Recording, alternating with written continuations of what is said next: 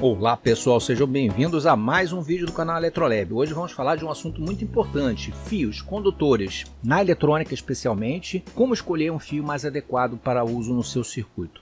Bom, a gente sabe que os condutores normalmente em eletrônica são feitos de vários materiais, normalmente cobre, mas em alguns casos você encontra também em alumínio e até mesmo em prata. Só que o cobre, pelo seu custo diferenciado, um pouco mais em conta, é, geralmente é o tipo de material mais utilizado.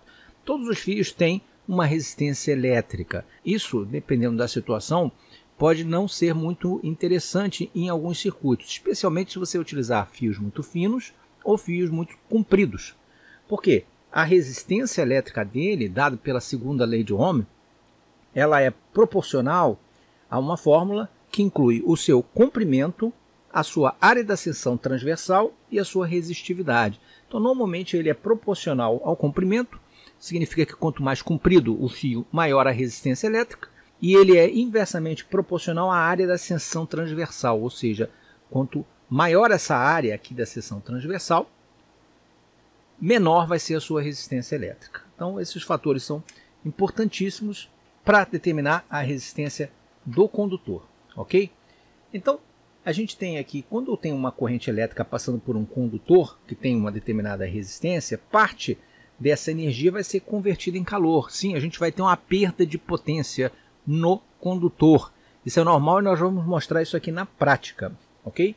Essa potência dissipada, ela aumenta com a resistência do condutor, ou seja, quanto maior a resistência dele, maior a potência dissipada e, obviamente, a corrente que passa no condutor, no fio.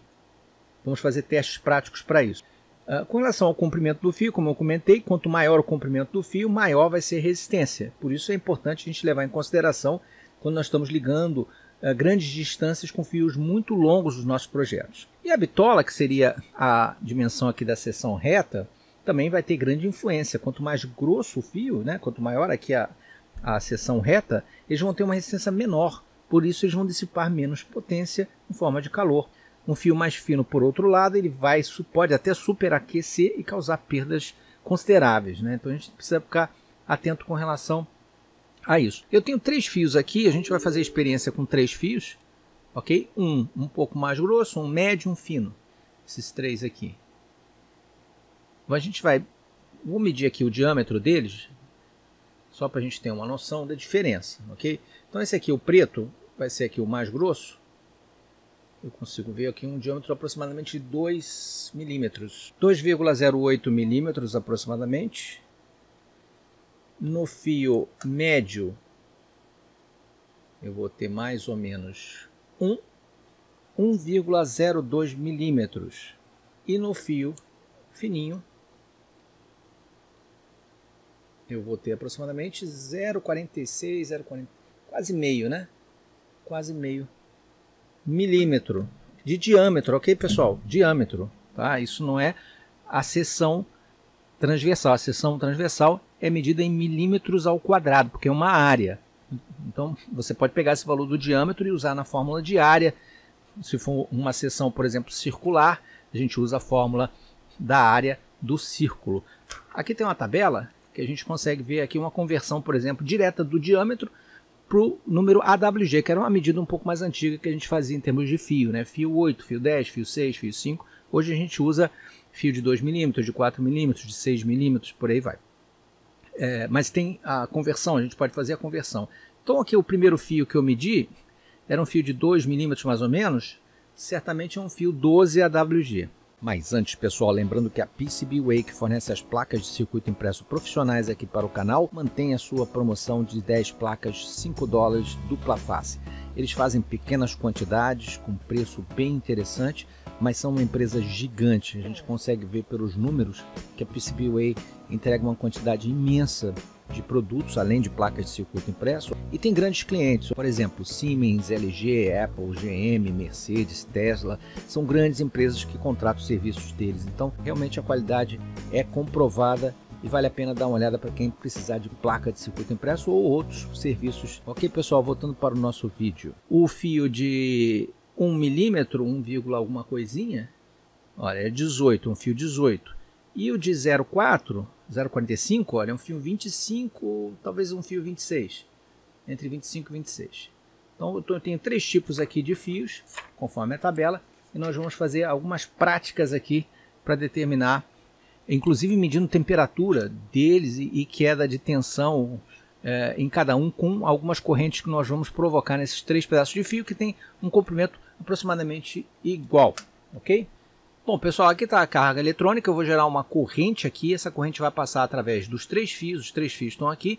Eu vou passar um de cada vez, obviamente, para a gente comparar, ligado a essa fonte. Essa fonte vai estar gerando 10 volts e eu vou botar uma carga aqui de potência fixa. Vou botar 50 watts.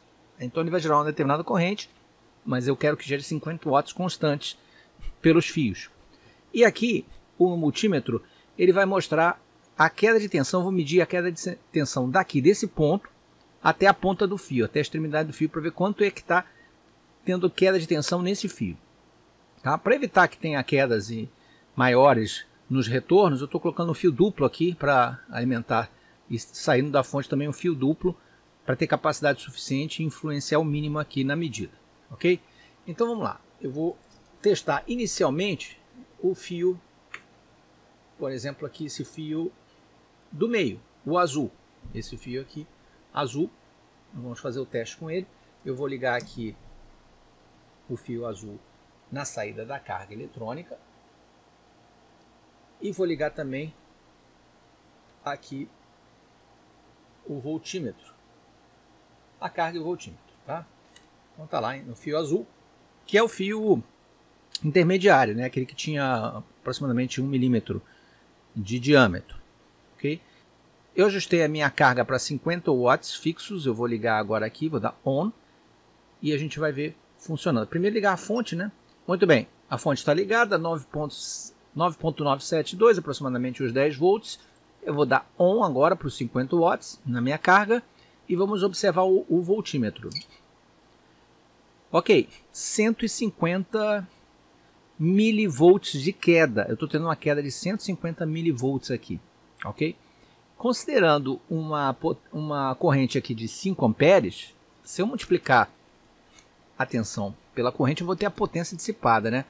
Então a, a corrente aqui é mais ou menos 150 milivolts uh, vezes 5.2 amperes, que está ali, né?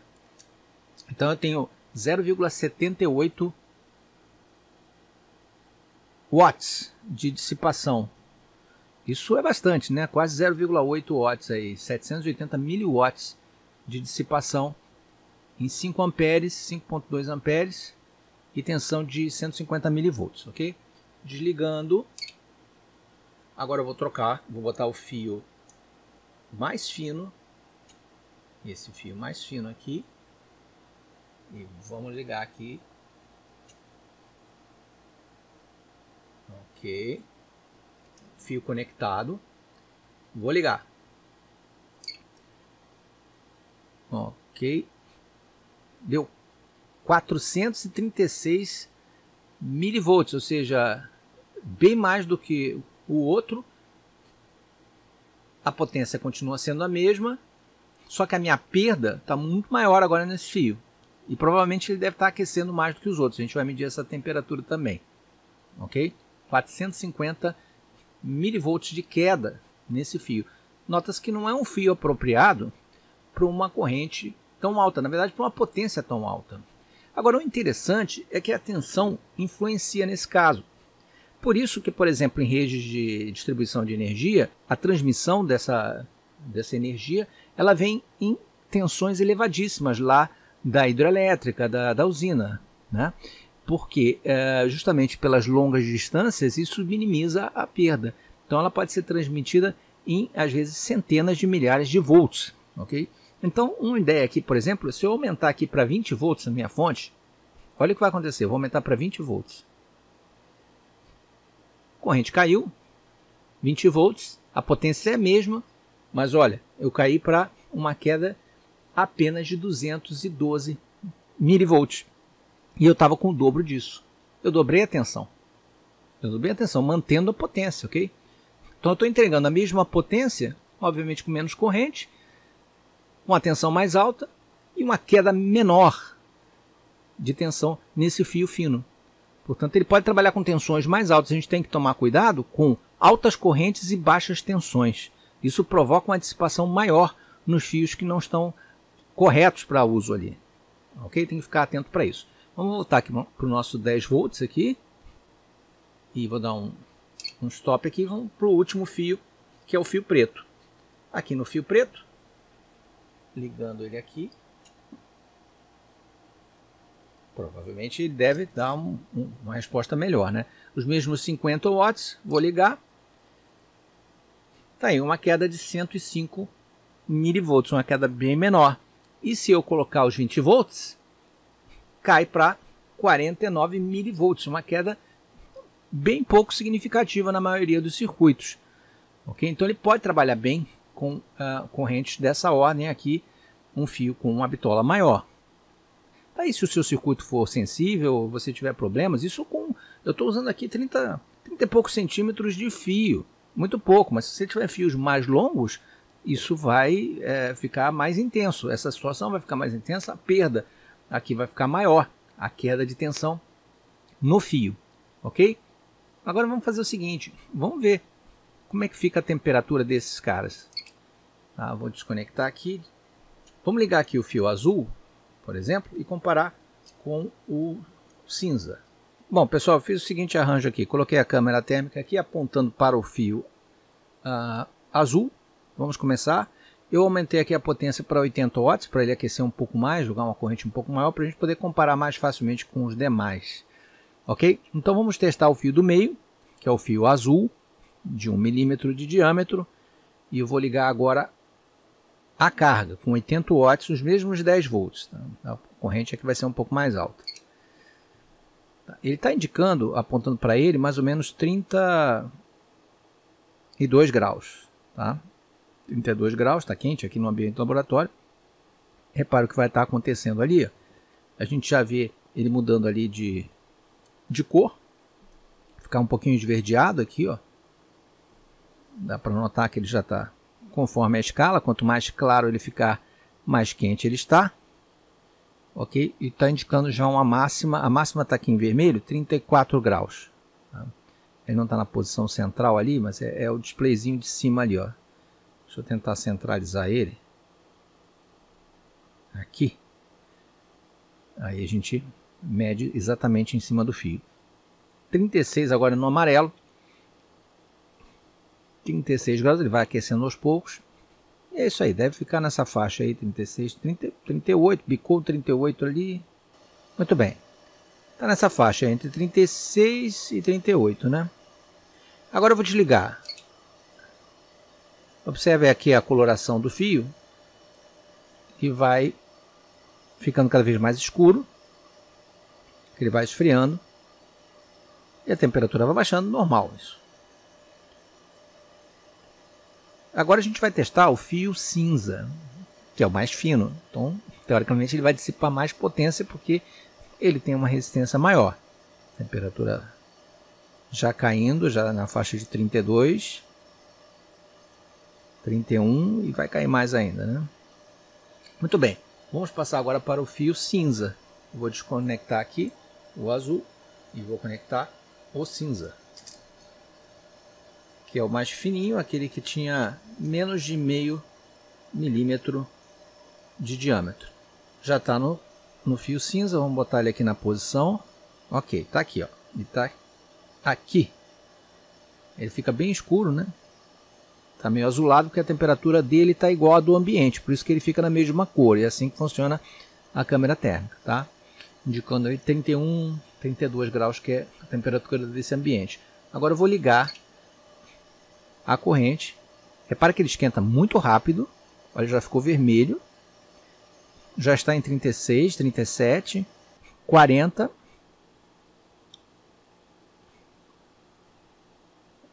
Voltou a 38, Fiz pico de 40, porque a câmera tem que ficar bem na posição aqui para a gente. Tem uma posição mais embaixo aqui que ainda está mais quente aqui, ó. mais perto da extremidade. Aqui, ó, 46, 46. Colocando a mão nele, a gente sente o fio quente. Realmente não é um fio apropriado para essa corrente ou para dissipar 80 watts. Desligando. ele vai demorar um pouquinho mais a... Mas aqui ó, no, no mostrador a gente já vê que ele está diminuindo a temperatura, né?